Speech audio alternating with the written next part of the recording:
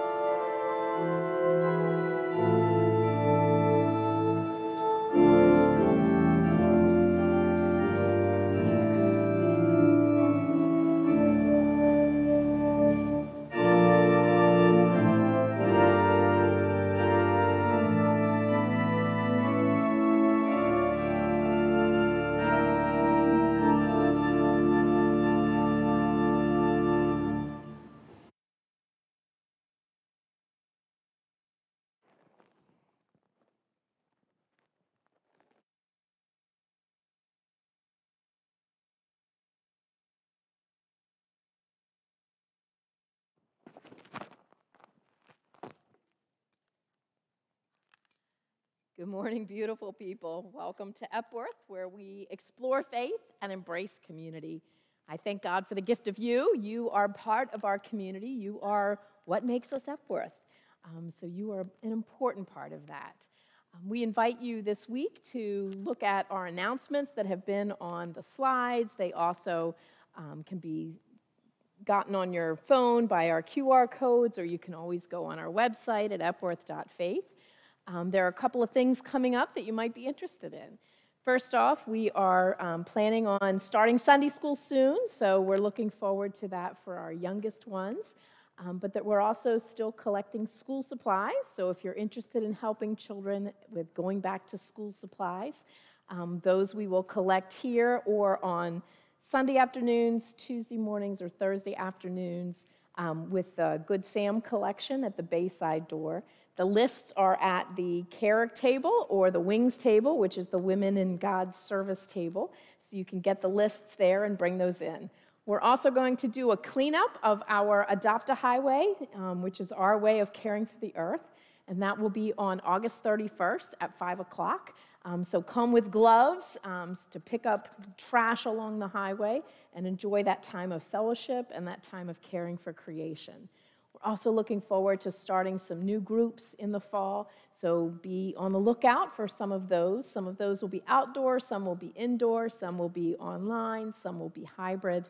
Um, but we're looking forward to continuing to develop our, um, our relationships and strengthen our community. So we invite you to join in worship as we say together our call to worship, transitioning our hearts from getting here to being here. So if you would stand with me. I give you thanks, O Lord, with my whole heart.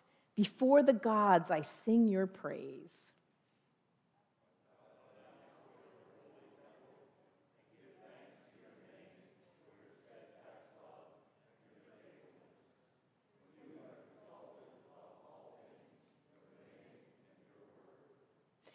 On the day I called, you answered me. My strength of soul you increased. All the kings of the earth shall give you thanks, O Lord, for they have heard the words of your mouth, and they shall sing of the ways of the Lord. For great is the glory of the Lord. Let us continue standing as we sing about Christ, the sure foundation.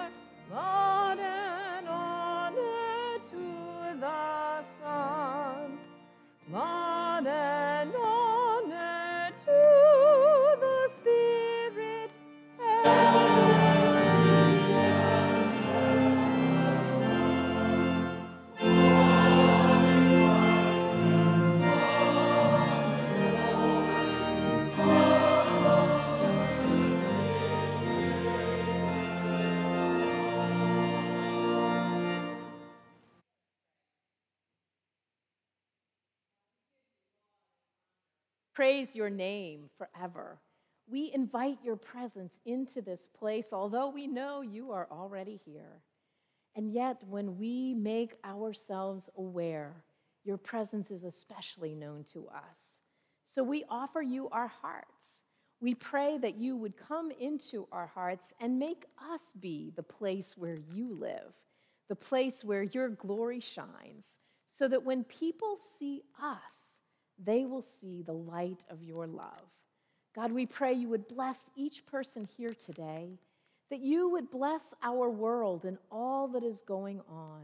We know that there are individual things going on in people's hearts, but also things going on in our world, such as in Afghanistan and Haiti. And so we pray, God, for all of those bits of our world that are firmly in the palm of your hand. Allow us to trust you with those so that we can focus our hearts on you and hear your word once again. We pray, trusting in the love of Jesus our Lord. Amen.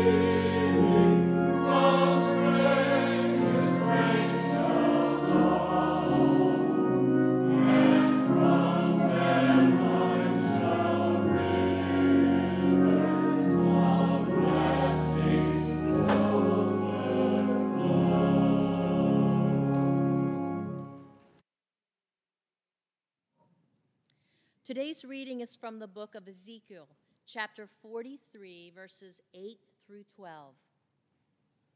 When they placed their threshold next to my threshold and their doorposts next to my doorpost, with only a wall between me and them, they defiled my holy name by de their detestable practices. So I destroyed them in anger. Now let them put away from me their prostitution and funeral offerings for their kings, and I will live among them forever. Son of man, describe the temple to the people of Israel, that they may be ashamed of their sins.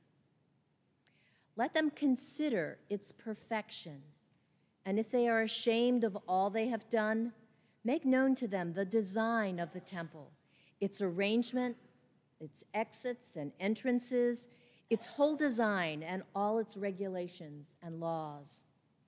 Write these down before them so that they may be faithful to its design and follow all its regulations. This is the law of the temple. All the surrounding area on top of the mountain will be most holy. Such is the law of the temple. Here ends the reading for today.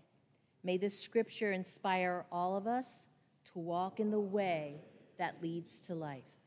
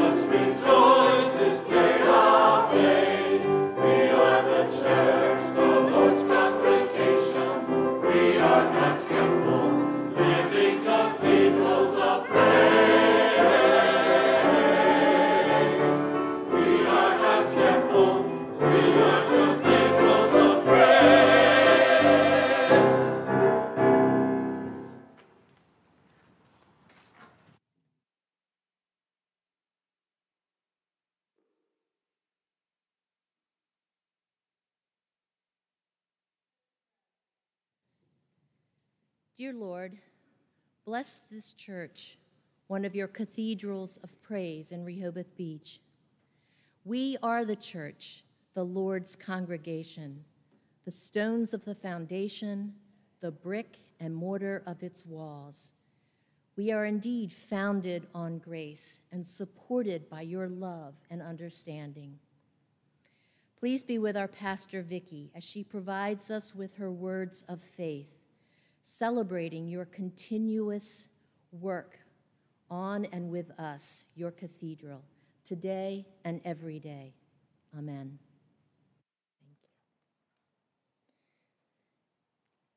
My son Eli was fortunate enough to participate in a mission of peace when he was 16. He went with a group of other United Methodist youth to South Africa for three weeks. And they went to Cape Town and Johannesburg and some other places in South Africa. And they were looking at the Methodist Church and its role. They were listening to um, how the government had um, worked with the church to overcome the sins of apartheid. Um, they, they just had a lot of wonderful experiences while they were there. But I think one of the most profound experiences for Eli was going to Central Methodist Church, which was in Johannesburg. He said from the outside it looked like a beautiful cathedral. It was stone and stained glass windows, and um, you could tell there was rich carpet, and it was a beautiful, beautiful place. But he said as soon as they opened the doors and he walked in, he was struck with something else. He was struck with destruction. Um, things were torn apart from, from use. Um, people were everywhere. There were people laying on the pews. There were people um, sitting in small groups. Children were running around. Um, and he said the smell was horrible, just horrible. It was filled with, you know, body odor and sewage smell. And so his first thought was, ugh, what is wrong with this church? But as they walked in and they met the pastor and they started learning more about it, what he heard made him realize that this was indeed holy ground. You see, Zimbabwe, their neighbor to the north, had been in years and years of war. And so thousands of refugees had flooded into South Africa, fleeing for their family's safety, fleeing for a place where they could live and not be afraid, um, fleeing for a place where there might be jobs, where they might be able to eat and not watch their families starve. So, this particular church, Central Methodist Church, housed over 3,000 refugees. 3,000. They slept there, they ate there, they had children there, like literally gave birth to children there. Um, and those 3,000 people shared seven bathrooms. Now, I think there are homes in Rehoboth that have seven bathrooms just in one home. Can you imagine sharing seven bathrooms among over 3,000 people? Groups came in from outside to help feed them. Um, people would go during the day and look for work, and others would care for the children. Um, there was, you know, time for them to sleep. He said he was really struck by the fact that all they had with them were their families and the clothes on their back. And so they would literally sleep with their boots as a pillow. That's where they would lay their heads. And he was struck by that. And yet he said they were so filled with joy there was this sense of life and of hope and of exuberance. And he said, you know, the children were playing as if nothing was wrong. And he was just amazed. He said late in the afternoon, the pastor came in and offered a type of Vespers. And he said the songs were just filled with such celebration. And yet he thought, what is there to celebrate? And yet he realized that there was everything to celebrate. For this church truly had become holy ground, even though it was in a lot of ways destroyed, just by all of the people, not intentionally, just worn out by providing refuge. And so today we look at this sense of our temples and what temples are and how we are to be drawn up to God in our temples. And so we read about a story from the prophet Ezekiel. And Ezekiel was writing during a time when the temple in Jerusalem was destroyed. Destroyed. Not by 3,000 refugees, but torn down by a foreign power. So it's really important to remember just a little bit of the history The nation of Israel had split into two. There was the northern kingdom and the southern kingdom. The northern kingdom had already been conquered by Assyria in 722 BC, before Christ, before the Common Era. Um, 722. So now it was just this tiny little nation of Judah, the southern nation.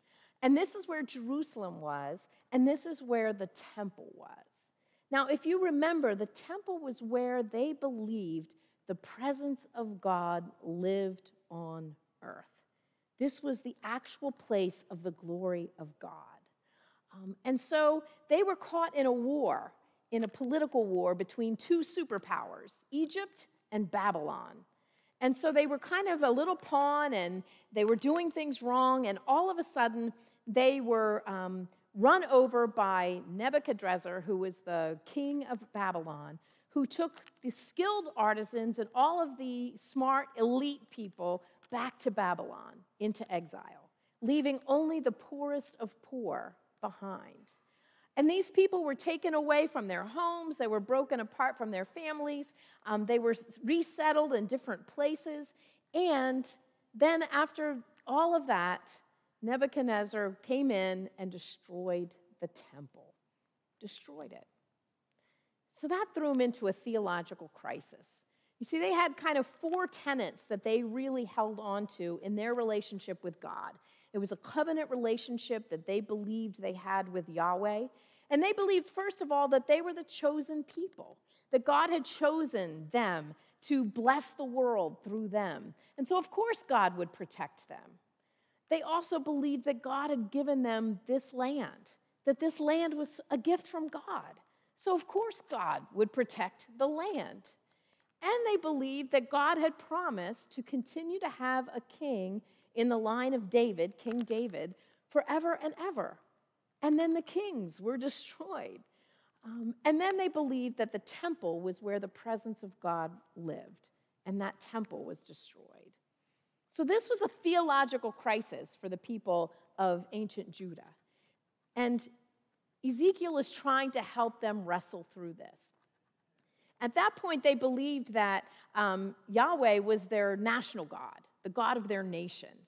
And so they either had to believe then that the God of Babylon, who was Marduk, was stronger than Yahweh, or they had to believe that somehow God had done this. And so their understanding of God shifted from a nation God my God, the God of my tribe, to the God of the entire world, who is in control of everything, who then must have used this conquering to teach them a lesson, to punish them. Now, we wrestle with that kind of understanding of God, um, and you can see how their understanding of God was expanded, and our understanding of God gets expanded. From the time we're little and we have a certain way of understanding God, through challenges in our lives, through the storms that come. Um, and then eventually we have a broader understanding of who God is and how God works in our lives. Um, and so this was a, a, crisis for them where they went through that understanding. Um, but it was also a time for them to say, okay, what did we do to cause this? If this is God's punishment, then what was our sin? And so Ezekiel warned them that their sin was that they didn't keep up their end of the bargain, um, that they worshiped idols. Um, and we think of idols and we think of, you know, little things made of wood or brass or something like that. But idols are really anything that we put above God. So an idol can be a sports team, an idol can be family, an idol can be your home, an idol can be your car, an idol can be anything that takes priority in your life over God. Um, and so they were worshiping idols. And so Ezekiel was explaining to them this is one thing we did wrong. Um, they also had kings who weren't caring for the people. The kings were supposed to protect the people. And instead, what the kings were doing was being very oppressive towards the people and stomping out the people, kind of taking things away from them to enrich themselves. So the kings were not doing what they were supposed to do. But also, there was a lot of injustice. There were a lot of things that were going on that just weren't right. There were poor people, the, widow peop- the widows were being mistreated, um, foreigners were being mistreated. There was a lot of injustice in that world. So Ezekiel pointed to those things and said, These things are not in right relationship. And that's why then God punished us. Um, we have come to understand God in an even broader term. We've come to understand that God does no evil, God is not capable of doing evil. And so we don't sense that God causes these things. However, we also know that God does allow us to experience the consequences of our choices. So, if I were to drive drunk and get arrested for driving under the influence, God could certainly forgive me and help me get to a place where I could be in recovery. But I still have to go through the consequences of driving under the influence. God's not going to take those consequences away. Instead, God helps us to live through those consequences so that then we can learn and we can be different. We can grow. We can become a different person. And so our understanding of God has also expanded. Um, but Ezekiel was really, I think, especially troubled by the temple, by this temple that they believed was, was so great and so beautiful and so wonderful. Um, and King Solomon had built it, and it was just the best temple in the world, and now it was destroyed. And so while Ezekiel was in exile, he was a priest, he had a lot of knowledge about military and social events, about the politics, about the religion of the day. And so he was telling them that this is what they did wrong. And he had a vision of the current temple, the temple that was being destroyed in chapters 8 through 11. And he had this vision of God's glory leaving that temple because of the sin of the people. But he also heard God say, I will be their sanctuary.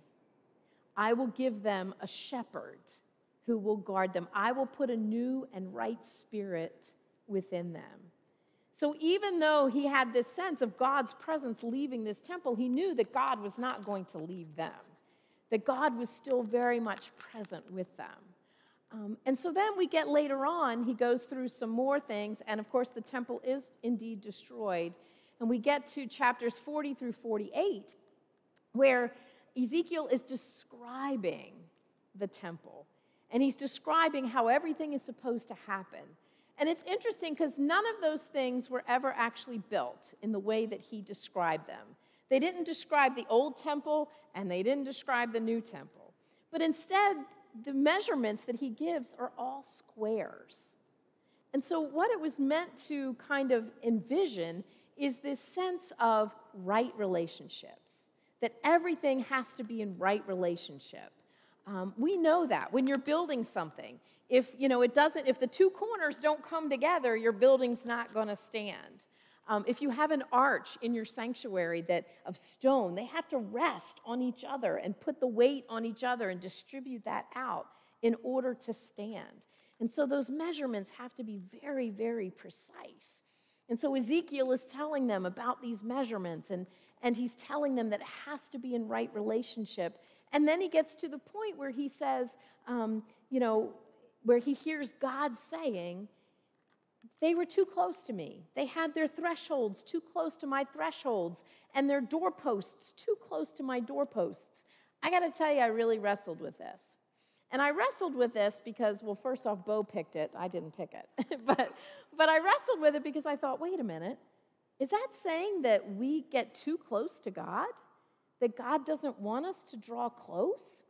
And then I looked at a um, diagram of ancient Jerusalem.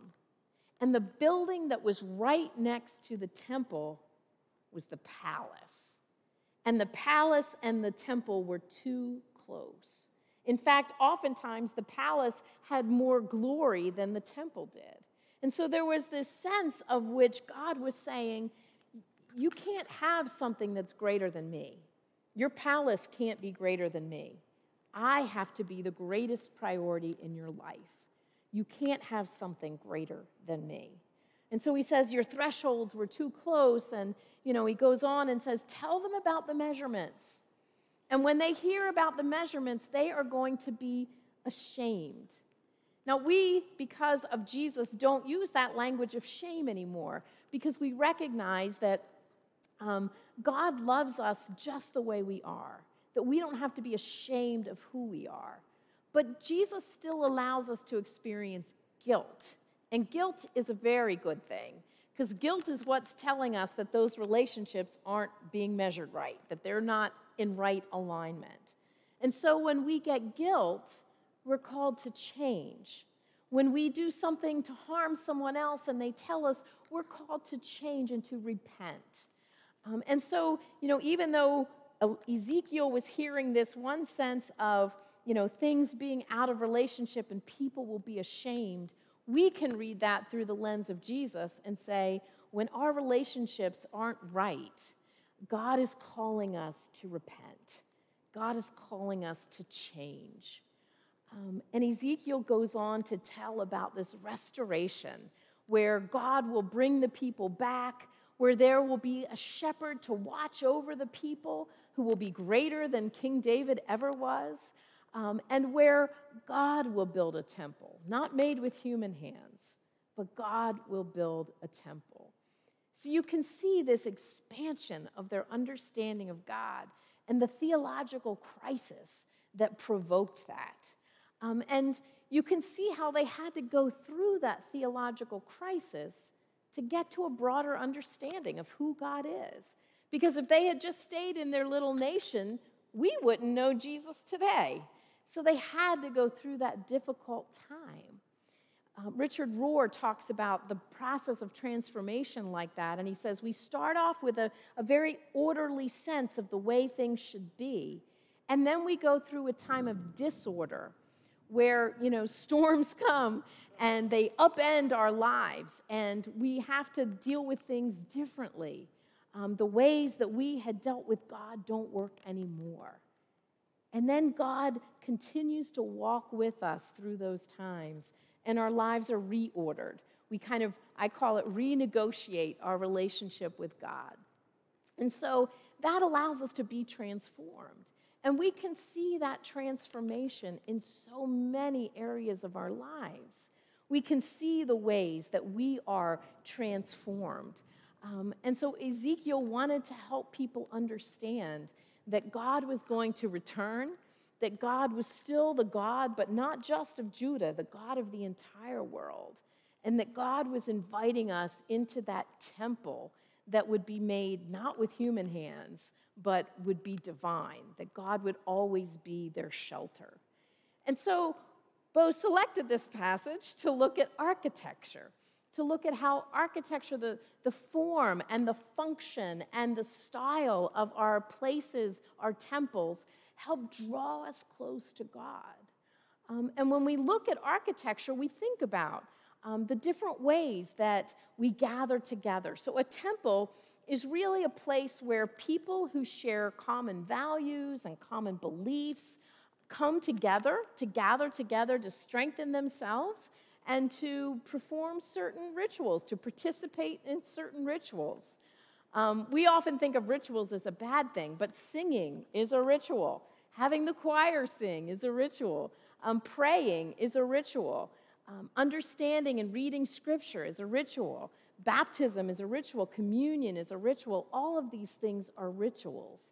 So we come together to share in those rituals that help us become the people that God created us to be. And these aren't our only temples in the world. There are other temples even in our contemporary world today. If I told you that I was going to wear a white shirt with a big red P on it and a baseball hat and I was going to go to a stadium where they stand at home plate and they bat and they hit a ball and they run around bases and they come home again. And people on the sidelines are going, Yay! because they're all cheering for the Phillies. That is a type of temple, isn't it? There are people there who share common values. They love sports. They want to see the Phillies make it to the World Series. They you know, they they just have an awesome, you know, they're all kind of cheering on the same thing, and they're watching a ritual, including what? The seventh inning stretch, right? Um, and so, you know, that's kind of a temple. But we have a temple here. And this temple has a form and a function, and it has a style. Um, the form, of course, is kind of the way that churches are laid out, and we certainly have churchy words for those. We call things the nave and the sanctuary and the chancel and the altar. Um, and those are all forms, but they serve the purpose of the function. But we also have a style here, don't we? We have a style here at Epworth. We are shaped kind of in a fan shape instead of a long shape. And I think for me, this reminds us of the importance of you, the people, because you are such an important part of our worship. It was so hard to worship and to lead worship when you were not here, when we only had people joining us online. It was a totally different worship experience. So, your presence here makes a difference in our worship. And you have come to this place and you participate and you become part of our overall worship, part of our style. And so, this fan shape helps us value people. But we also have a lot of windows, don't we? Um, and those windows give us a lot of light. And so they remind us that Jesus is the light of the world. They remind us that the light shines in the darkness and the darkness does not overcome it. But they also remind us that we are connected to the world, that we don't just come in here and hide forever, that we come in here to gather our strength, to be renewed, so that we can go back out into the world. And so the windows remind us that we are connected to these storms of life, to the world that is all around us. We also have so many beautiful plants, um, plants that require tending and care. And I love the fact that we have plants, although I do have allergies, so sometimes it's not such a great thing. But I love our plants because they remind us that they are living and growing and organic just like our relationship with God is living and growing and organic. And if we don't tend to those plants, then they will die. And if we don't tend to our relationship with God, then that relationship will wither. Um, luckily, it won't die because God doesn't let that relationship die, but it will wither. We have to take care of our relationship with God. And so these plants remind us of all of that life and the joy that our relationship with God can bring. Um, and so that is part of our style.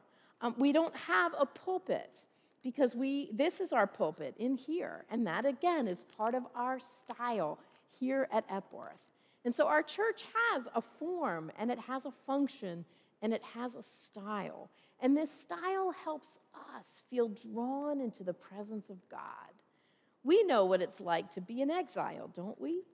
Because we went through the quarantine for almost 16 months where we could not come into this place, where we could not come to a place that feels holy to us, that feels sacred, that has so many memories of God reaching out and touching us.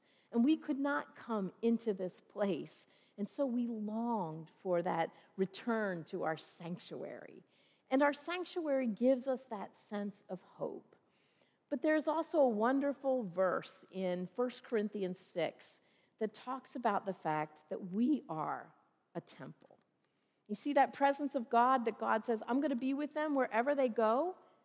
That not only moved from the temple, which was a physical place on earth, to the entire world, it now comes back to reside in us. Y'all, every single one of us, are a temple of God, and we collectively are a temple of God. So, what does that say? That God's presence lives in you. And how do you respond to that? We have a shell in the middle of our aisle as a reminder of baptism. That is where we perform baptisms. And a shell has been a symbol of baptism for 2,000 years. But one of the things that shells also tell us, we typically give people that we're baptizing a shell, and we tell them that this used to be a home for an animal. We all know that, don't we? We see some of those little animals crawling along the beaches sometimes. And so the animal always took their home with them. It was like a mobile home, right? the animal always took their home with them. And so when we baptize people, it is a reminder that God will always be their home wherever they go. that there is nowhere they can go where they won't be at home. But we also tell them that we don't give it to them with the animal still in it. that makes some kids very unhappy, but others are quite happy. And so it's an empty shell. And that emptiness reminds us that there are going to be times in our lives where we go through disorder, um, where we go through painful places, where we have emptiness, whether that's from losing a job or losing a child or losing a parent or facing a disease or facing surgery or you know struggling with family members or divorce. I mean there's so much pain.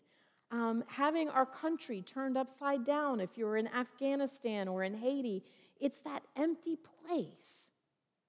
And yet because we are followers of jesus we're not afraid of those empty places do you remember why? Because on Easter Sunday morning, when the women went to the tomb, they found it empty. And what did that signify? That Jesus was alive, that we can make it through those places of emptiness, that God has something in mind to walk us through those desolate places, that we will not be alone and we will not be stuck there forever.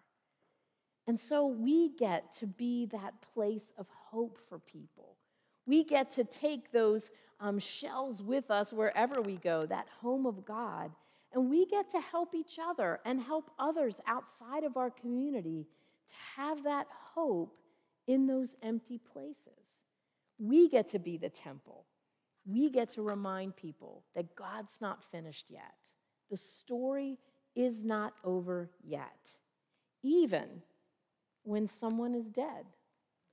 One of the um, things that someone said to me that has moved me the most after my son died was they said, His story is not finished yet. And I wrestled with that, but it's a wonderful sign of hope. Bo and I went to see the play, Great Small Things, which was put on at Camp Rehoboth, but we went to see the uh, dress rehearsal and the play ended up being canceled because of COVID. Um, I'm really hoping that it's going to be rescheduled because you have got to put it on your list to go see. It was very, very powerful and very moving.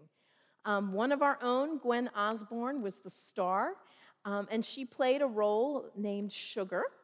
And Sugar was a pen name for an advice column writer.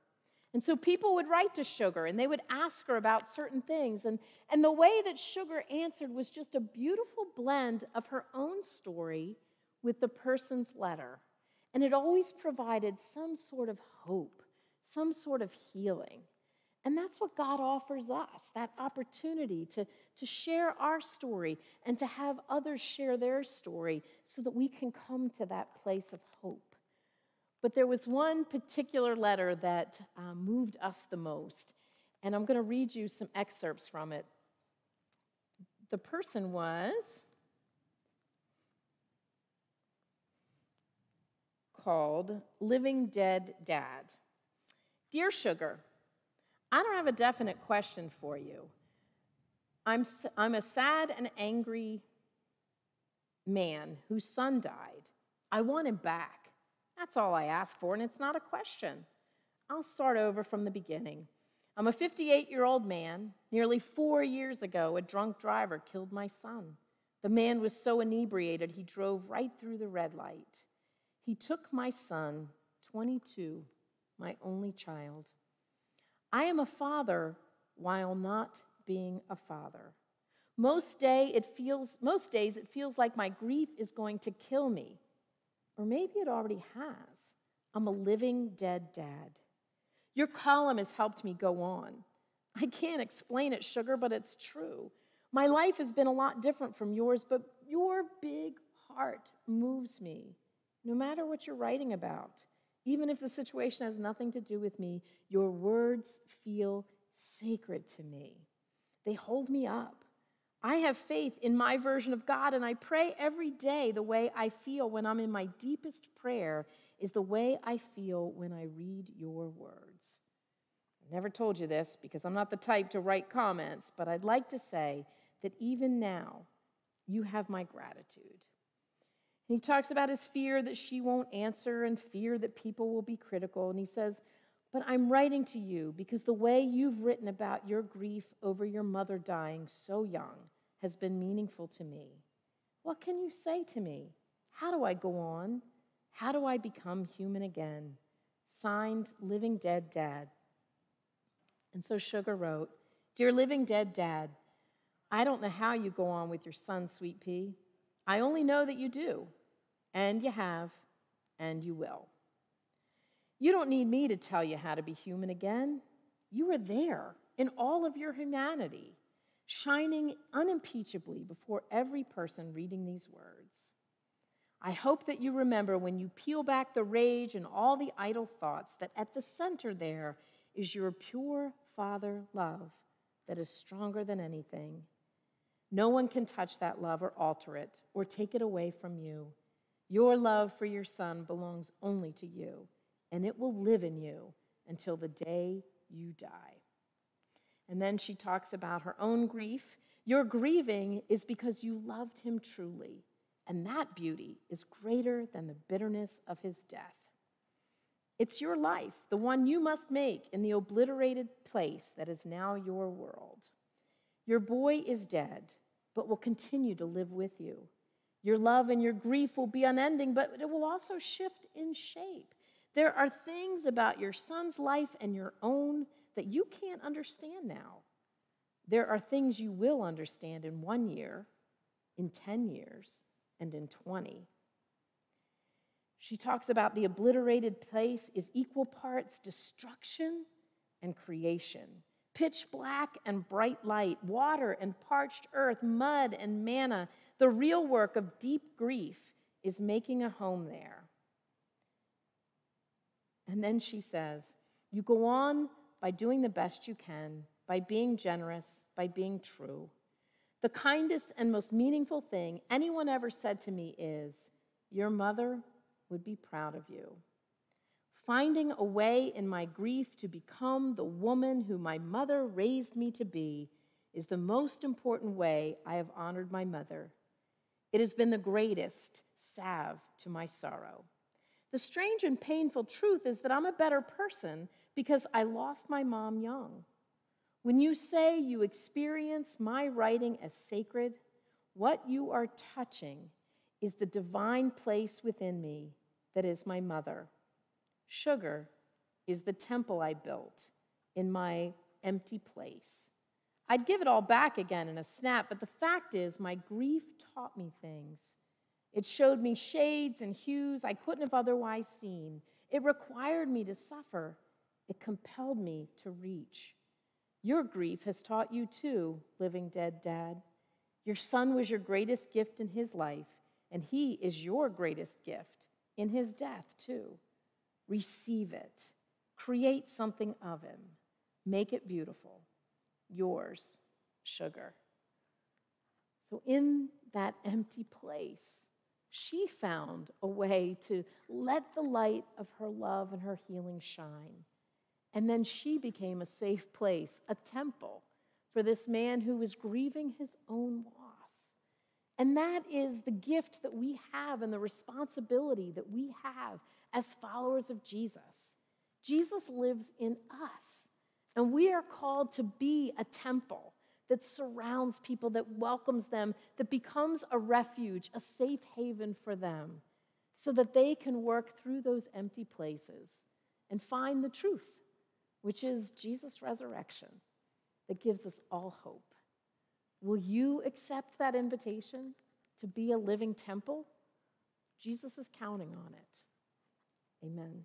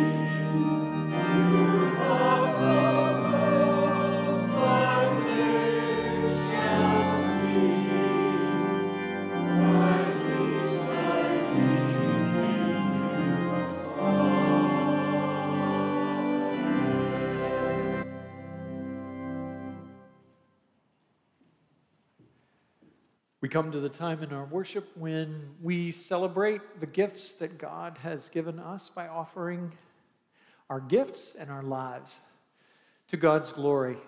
And there are various ways in which we uh, offer our gifts. I list some of those on the screen there. Um, there are boxes, offering boxes provided at the doors that remind us that our lives are an offering place. I'm too loud. I'm going to turn myself down.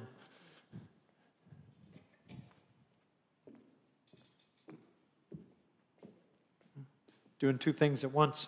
Um, but as always, I remind you as the choir prepares to give us an offering in song, to make of your life an offering of song and of light uh, and of healing and of hope wherever you go. And so I extend this invitation for the offering of our lives this morning. Come to Christ a living stone, though rejected by mortals, yet chosen and precious in God's sight. And like living stones, let yourselves be built into a spiritual house. To be a holy priesthood, to offer spiritual sacrifices acceptable to God through Jesus Christ. Scripture reminds us See, I am laying in Zion a stone a cornerstone, chosen and precious. And whoever believes in him will not be put to shame. We invite you, as the choir sings, to say, Yes, use me.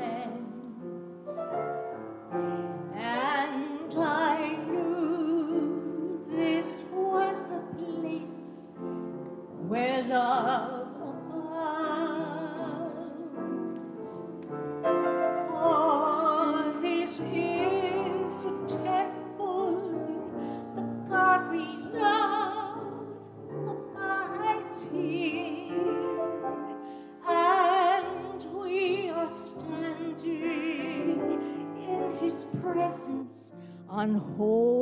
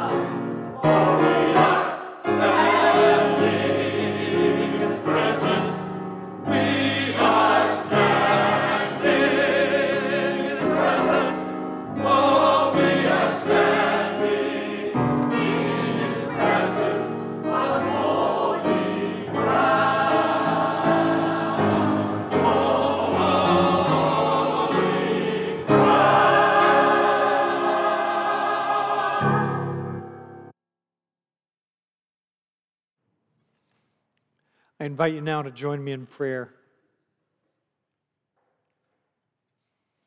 God, we give you thanks this day for your invitation to join you in this creative kingdom work of building houses and places of refuge and safety not made with hands, and of the invitation to no longer be strangers and aliens, but citizens with the saints and members of the household of God, built upon a foundation of the apostles who walked with your Son Jesus Christ on dusty roads, wept with him stared wide eyed in amazement not only at him, but of the things he taught them were possible with this life that you have given to us all.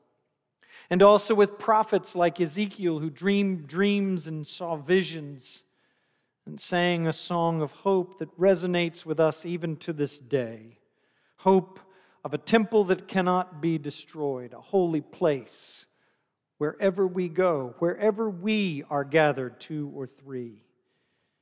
In the name of your Son, our Savior. Christ Jesus Himself, the cornerstone, in whom the whole structure is joined together, growing into a holy temple in you. We thank you for the calling to be your dwelling place, the dwelling place of hope and of love to accept with not only resignation, but with excitement, the plumb line that shows us wherever we are not true to you and to ourselves, so that we can right ourselves.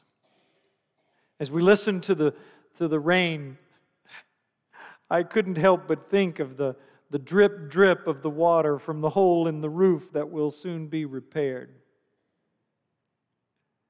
God, there are places in need of repair in our lives. We confess them to you now, individually and as a body, as a communion and community, called to be light and salt to the world wherever we are offering by omission or commission a barrier to your love. We invite you to correct our lean so that we can stand with strength and with hope and with love, undying and ever faithful, to draw everyone, all your children, our brothers and sisters, into shaping this household of love. We thank you for the ways in which we are faithful as a communion and as a community, not just here at Epworth, but Christians scattered far and wide like seeds of love you have planted in the good earth of the, the good soil of the earth and in the soil of hopeful hearts. For feeding ministries, God, for hands and hearts united in hope, not only offering handouts, but offering the ministry of our presence, the sanctuary of our lives. And we pray, God, for those who are caught in the storm, especially this day. The storm of a hopeless diagnosis, the storm of uh, a life without meaning, the storm of fear of the future, of the present, of chaos that has undermined what we thought of had been foundations of our lives, that shift so powerfully and so profoundly. In that shifting, help us to recognize you as our true foundation and nothing else. And help us to build not on sand, but on the sure foundation of your love, of faith in you, and of your faith in us. God, we thank you this morning for the rain and the storm and the wind, as well as the sunshine and the calm and the breeze. We thank you for your undying love and faith that never changes. Rain, wind, sun, whatever. We are with you this day and always. And we offer ourselves as living stones to be built in a house not made with hands, but with love.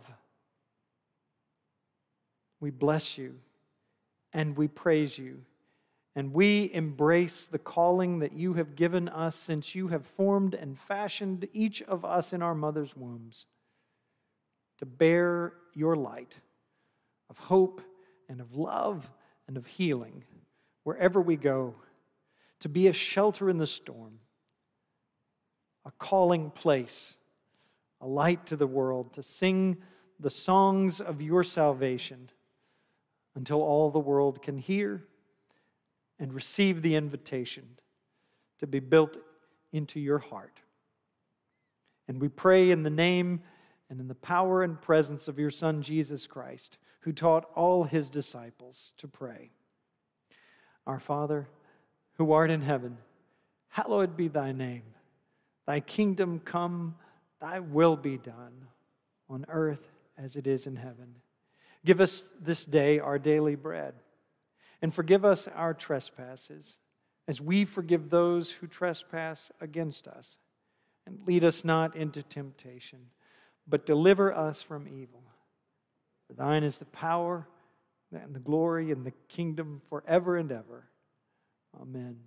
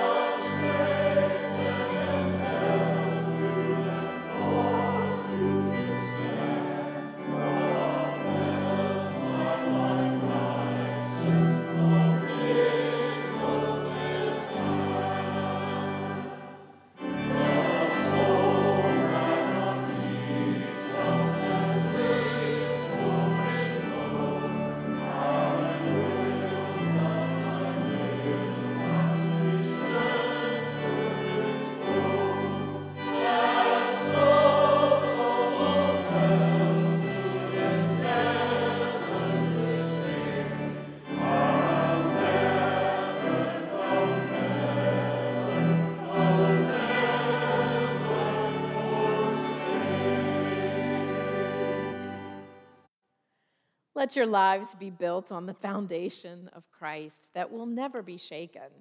Be willing to go and be that temple for others, knowing that the Spirit of God lives in you.